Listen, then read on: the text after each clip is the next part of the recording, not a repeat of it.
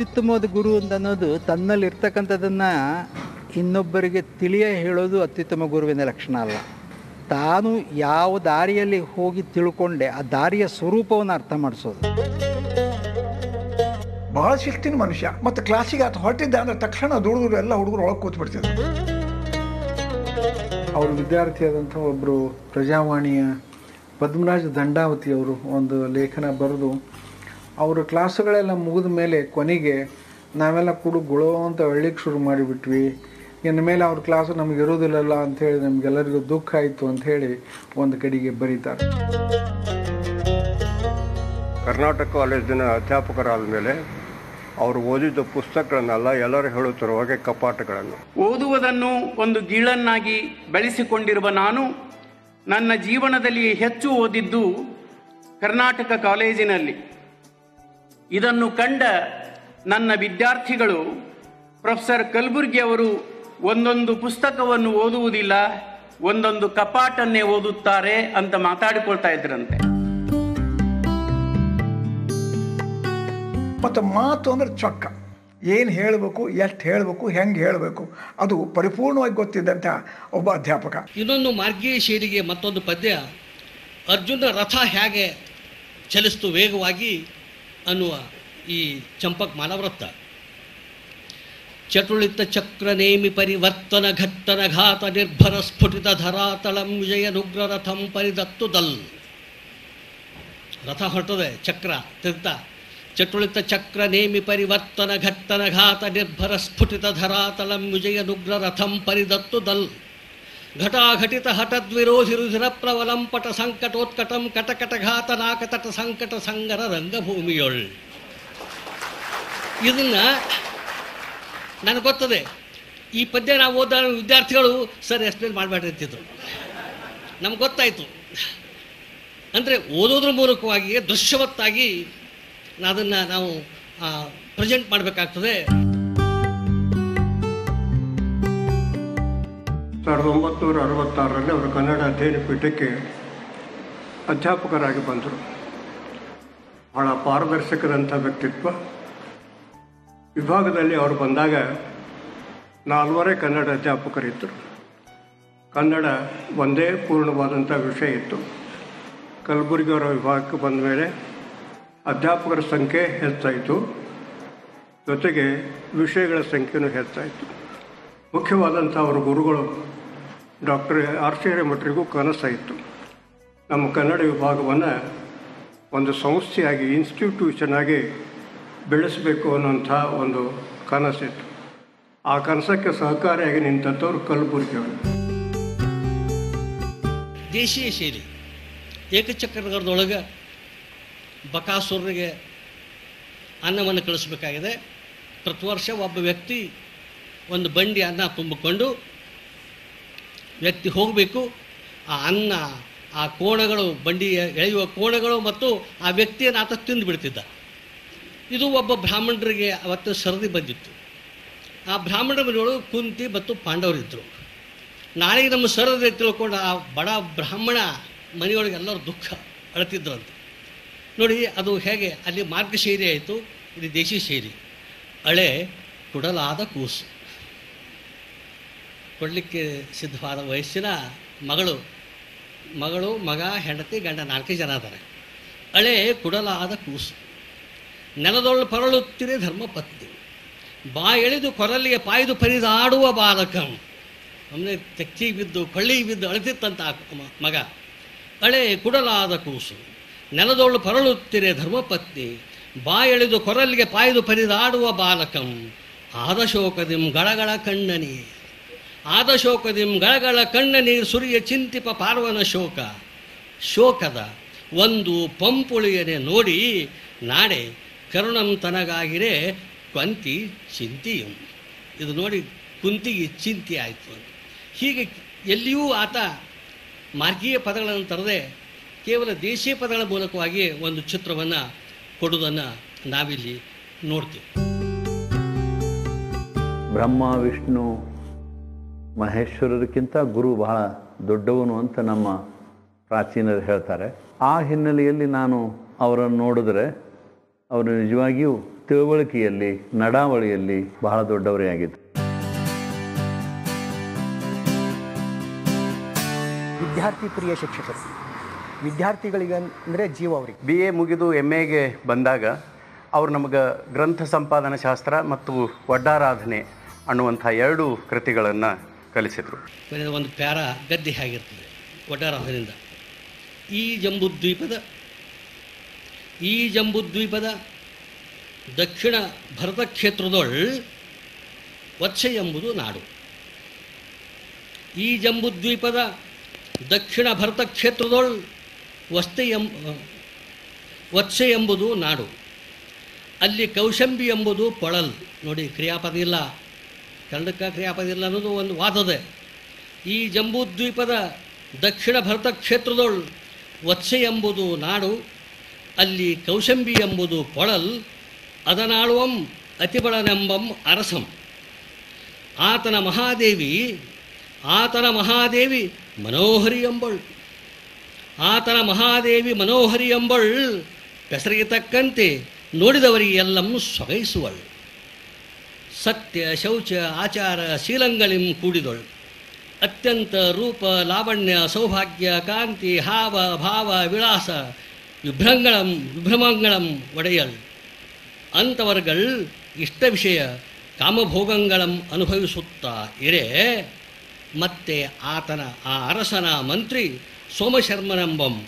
ಆತನ ಭಾರ್ಯೆ ಕಾಶ್ಯಪಿ ಎಂಬಳು ಆ இருவர்க்கம் மக்கள் அக்னிபூதியும் வாயுபூதியும் ಎಂಬರು அவர்கள் தாய் ತಂದೆಯ ಕಲ್ಪಿಯಂ ಗೆಯ್ಯದೆ ವೇದಂ ಮೊದಲಾಗೊಡೆಯ ಶಾಸ್ತ್ರಗಳಂ ಓದದೆ ತಂದೆಯ ಪಡೆದ ಕಸವರಮಂ ಬಿಯಂಗೆಯ್ಯುತ್ತಂ ಸಪ್ತ ವ್ಯಸನಾಭಿಭೂತರಾಗಿ ನೆಗಳುತ್ತಂ ಇರೆ ಹೀಗೆ ಕ್ರಿಯಾಪದರಹಿತವಾಗಿ ಪುಟಗಟ್ಟಲೆ ಆತ ಗದ್ಯವನ್ನು ಮುನ್ನಡೆಸುವುದು ನಾವಿಲ್ಲಿ ನೋಡ್ಬೋದು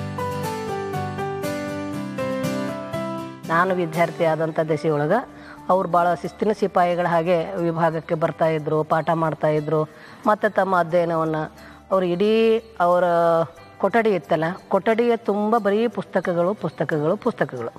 ಆ ಪುಸ್ತಕದಲ್ಲಿ ಅವ್ರು ಮುಳುಗಿ ಹೋಗಿರ್ತಾಯಿದ್ರು ಹೀಗೆ ಅಧ್ಯಯನ ಮಾಡುವಂಥ ವ್ಯಕ್ತಿಗಳನ್ನು ಹೋಗಿ ಮಾತನಾಡಿಸ್ಲಿಕ್ಕೆ ಯಾರಿಗೂ ಧೈರ್ಯ ಸಾಲ್ತಾ ಇರಲಿಲ್ಲ. ಬುಕ್ಸೇ ಅವ್ರಿಗೆ ಆಸ್ತಿ. ಯಾರಾದ್ರೂ ಜನ ಬಂದ್ರೆ ನಾವು ಟೀ ಕೊಡಕ್ಕೆ ಹೋದಾಗ ಯಾರಾದ್ರೂ ಯಾವ ಕ್ಲಾಸ್ ಅಮ್ಮ ನೀನು ಅಂದ್ರೆ ಅವ್ರು ಹೇಳ್ತಾರೆ ನನ್ನ ಮತ್ತೆ ವಾಪಸ್ ಕರ್ಕಿದ್, ನೀನು ಯಾವ ಕ್ಲಾಸ್ ಅದಿ ಅಂತ ಹೇಳು ಅಂತಂದ್ರೆ ನಾನು ಯಾವ ಕ್ಲಾಸ್ ಅದೀನಿ ಅಂತ ಅವ್ರಿಗೆ ಜ್ಞಾಪಕ ಇರ್ತಿದ್ದಿಲ್ಲ. ಆದ್ರೆ ಹೊರಗಡೆಯಿಂದ ಈ ಬುಕ್ಕು ಈ ಸಾಲಿನಲ್ಲಿ ಈ ಕಲರ್ ಇದೆ, ಇಷ್ಟು ದಪ್ಪಿದೆ ಅದು ಮಾತ್ರ ಸರಿ ಯಾಕೆ ಹೇಳ್ತಿದ್ರು ಅವರು.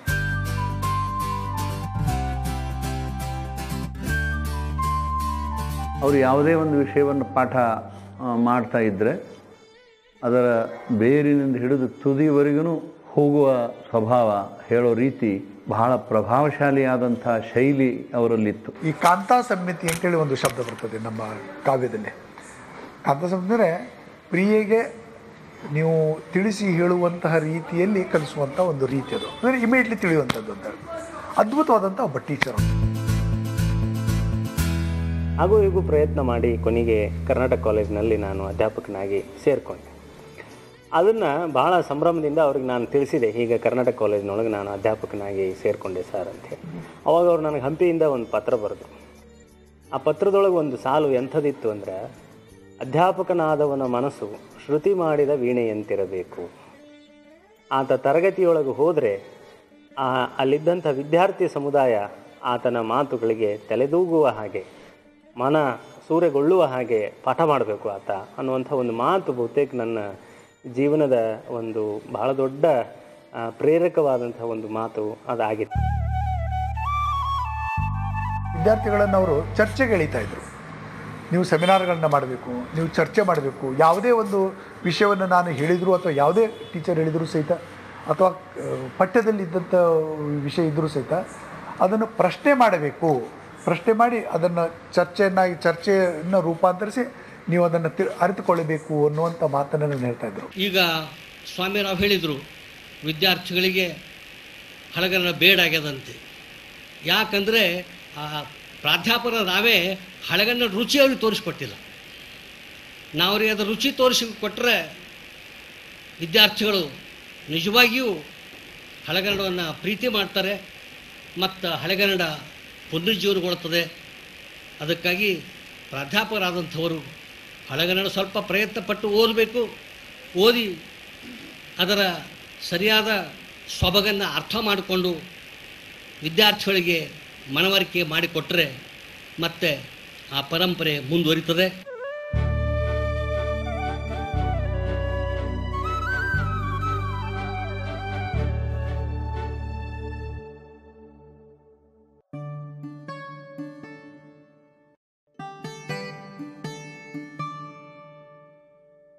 ಹಳ್ಳಿಗೆ ಎತ್ತರದ ವ್ಯಕ್ತಿ ಇದ್ರು.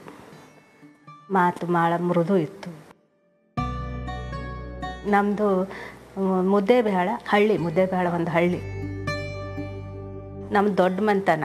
ಆ ಮದ್ ಮಂತನ ನೋಡಿ ಇವ್ರು ನನಗೆ ಹೆಣ್ಣು ಕೊಡ್ತಾರಿಲ್ಲ ಅಂತ ತಿಳ್ಕೊಂಡಿದ್ರಂತೆ. ಆದರೂ ನಮ್ಮ ನಮ್ಮ ಅಜ್ಜ, ಇಲ್ಲ ಕಲ್ತವನಿದ್ದಾನೆ ಕೊಡಬೇಕು ಅಂತಂತ ಹೇಳಿ ನನ್ನ ಮದುವೆ ಮಾಡಿ ಕೊಟ್ಟರು ಏನು ದೊಡ್ಡ ವೈಭವದ ನಮ್ದು ಜೀವನ ಅಲ್ಲ ಅಪ್ಪಾಜಿ ಜೊತೆ ಅಂದರೆ ನಾ ಅಪ್ಪ ಅವ್ರು ಹೇಳ್ದ ಅಂಬಳಿ ಕಂಬಳಿ ಆಸ್ತಿ ನಮ್ಗೆ ಅಷ್ಟು ನಾವು ಚೆನ್ನಾಗೇ ಇದ್ವಿ. ಅಭ್ಯಾಸ ವಿಷಯದಲ್ಲಿ ಸ್ವಲ್ಪ ನಾನು ಅವರಷ್ಟು ಬೆಳೀಲಿಲ್ಲ, ಅವರಷ್ಟು ಓದಲಿಲ್ಲ. ಇನಿಷಿಯಲಿ ಮಾಡಪ್ಪ ಮಾಡಪ್ಪ, ಮಾಡು ಅಂತ ಹೇಳಿದ್ರು ಬಟ್ ಫೈನಲಿ ಎಕ್ಸಾಮ್ ಬಂದಾಗ ಅವ್ರಿಗೆ ಅನಿಸ್ತಿತ್ತು, ಇವನು ಯಾಕೋ ಇನ್ನೂ ಅಭ್ಯಾಸದ ಇನ್ನೂ ಹಿಡಿತ ಗ್ರಿಪ್ ಸಿಕ್ಕಿಲ್ಲ ಇವನಿಗೆ ಅಂತೇಳಿ ಲಾಸ್ಟ್ ಟೆನ್ ಫಿಫ್ಟೀನ್ ಡೇಸಲ್ಲಿ ಮಾತ್ರ ತುಂಬ ಅವರು ಸಪೋರ್ಟ್ ಮಾಡಿ ನಮಗೆ. ಬೆನ್ನತ್ತಿ ಏನೇನಾಗಿದೆ ಏನೇನಿಲ್ಲ. ಇದು ಸ್ಕೂಲ್ ಡೇಸಲ್ಲಿ ಆಮೇಲೆ ಸ್ವಲ್ಪ ದೊಡ್ಡವನಾದ್ಮೇಲೆ ಬಿಟ್ಬಿಟ್ರು ನನ್ನ ಪಾಡಿಗೆ ನಾನು ಇರ್ಬೇಕಂತೇಳಿ ನೀವು ಒಂದು ಕ- ಹೇಳಿದ ಕೆಲಸ ಸರಿ ಮಾಡಬೇಕು. ಸಮಯ ಸರಿ ನೀವು ಮಹತ್ವ ಕೊಡಬೇಕು. ಅವಾಗಷ್ಟೇ ಸಿಟ್ಟು. ಅವ್ರು ಉಳ್ಕಿ ಟೈಮ್ ನಮ್ಮ ಜೊತೆ ಯಾವುದಕ್ಕೂ ಇನ್ನೂ ಇರ್ತೈತೆ ಮಕ್ಕಳು ನಾಲ್ಕು ಜನ ಒಬ್ಬ ಗಂಡು ಮಗ ಮೂರು ಜನ ಹೆಣ್ಮಕ್ಳು. ಅಮ್ಮಂದೇ ಮೇಲ್ಕೈ ಅದ್ರಲ್ಲಿ ಅಪ್ಪ ಹಿಂಸರ್ಕೊಂಡ್ಬಿಡ್ತಿದ್ರು ಆಮೇಲೆ ಅಮ್ಮ ಅಂತಿಲ್ಲ, ಅಯ್ಯೋ, ನಾನು ಸುಮ್ಮನೆ ನಮ್ಮ ಮುಂದೆ ಅಂತಿಲ್ಲಮ್ಮ. ಅಯ್ಯೋ, ನಾನು ಸುಮ್ಮನೆ ಜಗಳ ಆಡಿದ್ನಲ್ಲ, ಪಾಪ ಅಂತ ಅಂತಿಲ್ಲ ಅಮ್ಮ. ಅವರು ಇತರ ಗೆಳೆಯ ಬಳಗ ಅಂತ ಯಾವ್ದಾದ್ರು ಇದ್ದರೆ ಅಂದ್ರೆ ಹರಟೆ ಹೊಡೆಯೋದಕ್ಕೆ, ತಮ್ಮ ವೈಯಕ್ತಿಕ ವಿಚಾರಗಳನ್ನು ಹಂಚಿಕೊಳ್ಳೋದಕ್ಕೆ ಒಂದು ಗೆಳೆಯರ ಬಳಗ ಇತ್ತು ಅಂತ ನನಗೆ ಅನಿಸೇ ಇಲ್ಲ. ಆದರೆ ನನಗೆ ಗೊತ್ತಿದೆ ಅದು. ಅವರು ವೈಯಕ್ತಿಕವಾದ ಜೀವನ ಅನ್ನೋದನ್ನು ಬಹಳ ನಗಣ್ಯ ಮಾಡಿದ್ರು ಅವರು. ನಿರ್ಲಕ್ಷಿಸಿದ್ರು ಅಂತಲ್ಲ, ನಗಣ್ಯ ಅದಕ್ಕೆ ಅದಕ್ಕೆ ಪ್ರಿಫರೆನ್ಸ್ ಭಾಳ ಕಡಿಮೆ ಕೊಟ್ಟಿದ್ದು. ಅಂದರೆ ಅವರು ಇದ್ದದ್ದೇ ಸಮಾಜ ಸಮಾಜಮುಖಿಯಾದ ವ್ಯಕ್ತಿತ್ವ. ಪ್ರತಿಯೊಬ್ಬ ಮನುಷ್ಯ ವ್ಯಕ್ತಿತ್ವ ಸಾಮಾಜಿಕರ ಮಾಡ್ಕೋಬೇಕು ಪ್ರತಿಯೊಬ್ಬ. ನಿಜ- ಅದೇ ಅದೇ ಪೂರ್ಣ ವ್ಯಕ್ತಿತ್ವ. ವ್ಯಕ್ತಿತ್ವ ಸಾಮಾಜಿಕರ ಮಾಡ್ಕೊಳ್ಳಾರ್ದೆ ನೀನು, ನಿನ್ನ ಹೆಂಡರು, ನಿನ್ನ ಮಕ್ಕಳು ನೀತಿಕೆ ಮಾಡ್ಕೊಂಡು ಎಲ್ಲ ಮಾಡ್ಕೊಂಡು ನೀನು ಸಂಪತ್ತು ಎಲ್ಲ ಮಾಡ್ಕೊಂಡು ಹೋಗ್ಬಿಟ್ಟಿದ್ದು ಏನಾಯಿತು ನಾಲ್ಕು ಜನ ಬದುಕಬೇಕು. ನಾಲ್ಕು ಜನ ಬೆಳಿಬೇಕು. ನಾಲ್ಕು ಒಳ್ಳೆಯವ್ರು ರೂಪುಗೊಳ್ಳಬೇಕು ನಿನ್ನ ವ್ಯಕ್ತಿತ್ವದಿಂದ, ನಿನ್ನ ಕ್ರಿಯೆಯಿಂದ.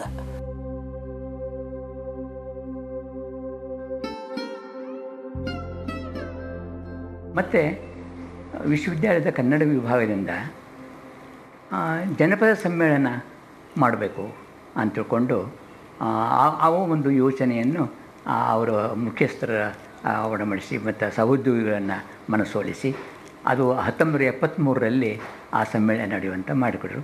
ಕಾರಂತರು ಅದನ್ನು ಉದ್ಘಾಟನೆ ಮಾಡಿದರು ಶಿವರಾಮ್ ಕಾರಂತರು. ಆಮೇಲೆ ಇವತ್ತಿನವರೆಗೂ ಸಹಿತ ಅದು ಪ್ರತಿ ವರ್ಷ ಒಂದೊಂದು ರಾಜ್ಯದ ಬೇರೆ ಬೇರೆ ಕಡೆಗಳಲ್ಲಿ ಆ ಸಮ್ಮೇಳನ ಆಗ್ತಾಯಿದೆ ಅದು ಅದ್ರ ಜೊತೆಗೆ ವಿದ್ಯಾರ್ಥಿ ಭಾರತಿ ಅನ್ನುವಂಥ ಒಂದು ತ್ರೈಮಾಸಿಕರು ಹೊಸದಾಗಿ ಸಮಯ ಆ ವಿದ್ಯಾರ್ಥಿ ಭಾರತೀಯ ಮೊಟ್ಟ ಮೊದಲ ಸಂಪಾದಕ ನಾನು. ನಮ್ಮ ಜೊತೆಗೆ ಜಯಂತ್ ಕಾಯ್ಕಿಣಿದ್ದ ಅವನು ಬೇರೆ ಒಂದು ಬಯೋಕೆಮಿಸ್ಟ್ರಿಗೆ ಬಂದಿದ್ದ ಅವನು. ಅವನು ಸಹಿತ ಅದರಲ್ಲಿ ಬರಲಿಕ್ಕೆ ಶುರು ಮಾಡಿದ್ದ. ಈ ರೀತಿ ಅನೇಕ ಜನ ಇಂಗ್ಲೀಷ್ ಡಿಪಾರ್ಟ್ಮೆಂಟ್ನಲ್ಲಿ ಕೆಲವೊಂದು ಜನ ಇದ್ದರು ಅವರು ಇದಕ್ಕೆ ಈ ಪತ್ರಿಕೆಗೆ ಬರೀಲಿಕ್ಕೆ ಆರಂಭಿಸಿದರು. ಹೀಗಾಗಿ ಅದು ಇಡೀ ವಿಶ್ವವಿದ್ಯಾಲಯದ ಒಂದು ಪತ್ರಿಕೆ ಆಗ್ತದೆ ಅದರ ಜೊತೆಗೆ ಅವ್ರ ಮುಂದೆ ಬಸವ ಪೀಠದ ಅಧ್ಯಕ್ಷರೇ ಆದರು. ಒಂದು ರೀತಿಯಾದಂಥ ಸ್ವತಂತ್ರವಾದಂಥ ಕಾರ್ಯ ಮಾಡಲಿಕ್ಕೆ ಅವ್ರಿಗೆ ಅವಕಾಶ ಸಿಕ್ತು. ಬಸವ ಪೀಠವನ್ನು ಎಷ್ಟು ಚೆನ್ನಾಗಿ ಬೆಳೆಸಿದ್ರು ಅಂತಂದರೆ, ಈಗ ಬಸವ ಪೀಠ ತಟಸ್ಥವಾಗಿರುವುದು ನಮಗೆ ದುಃಖ ಅನ್ನಿಸ್ತದೆ ಕಲಬುರಗಿ ಅವರು ಅದೇ ಬೇಕಿದ್ದರೆ ಬಸವಪೀಠ ಬಸವ ಪೀಠ ಕರ್ನಾಟಕದಲ್ಲಿ ಒಂದು ಆದರ್ಶ ಪೀಠ ಆಗ್ತಾ ಇತ್ತು. ಆ ಕನಸು ಕಲಬುರಗಿ ಅವರು ಕಂಡಿದ್ರು. ಆ ಬಸವ ಪೀಠವನ್ನು ಅದಕ್ಕೆ ಮಾಡಿದಂಥ ಗ್ರಂಥ ಭಾಂಡಾರದ ವ್ಯವಸ್ಥೆ, ಅಲ್ಲಿ ತಾಳ ಓಲೆಗಳನ್ನು ಸಂಗ್ರಹಿಸಿದಂಥ ವ್ಯವಸ್ಥೆ, ಹಸ್ತ ಪ್ರತಿಗಳನ್ನು ಸಂಗ್ರಹಿಸಿದ ವ್ಯವಸ್ಥೆ, ಈಗೆಲ್ಲ ನಮಗೆ ನೆನಪಾಗ್ತದೆ ಅಷ್ಟಕ್ಕೆ ನಿಲ್ಲಿಸಲಿಲ್ಲ. ಒಂದು ಉಪನ್ಯಾಸ ಮೇಲೆ ಪ್ರಾರಂಭಿಸಿದರು. ಗ್ರಂಥಗಳನ್ನು ಪ್ರಕಟಿಸಲಿಕ್ಕೆ ಪ್ರಾರಂಭಿಸಿದರು. ಆ ಗ್ರಂಥಗಳನ್ನು ಬೇರೆ ಭಾಷೆಗಳಿಗೆ ಅನುವಾದ ಮಾಡುತ್ತಿರುವಂಥ ಯೋಜನೆ ನಿರ್ಮಿಸಿದರು ನೋಡಿ, ಒಬ್ಬ ಒಬ್ಬ ವರ್ಷ ಆ ಸ್ಥಳಕ್ಕೆ ಬಂದರೆ ಎಷ್ಟೆಷ್ಟು ಯೋಜನೆಗಳನ್ನು ಮಾಡಬಹುದು. ಬಸವಪೀಠದ ಅಧ್ಯಕ್ಷರಾಗಿ ಕೆಲವು ಕೋರ್ಸ್ಗಳನ್ನು ಕೂಡ ಪ್ರಾರಂಭ ಮಾಡಿದರು. ಅದರಲ್ಲಿ D, diploma in Basava studies ಅವ್ರದ್ದೇ ಕನಸು ಅದು